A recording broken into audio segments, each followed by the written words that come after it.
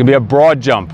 You're just in place, planting your feet, getting some power. You're gonna get some momentum with the upper body and just one jump forward as far as you can, not going all the way down to the floor. Just one jump, smooth landing, and we're just gonna step back to where we started.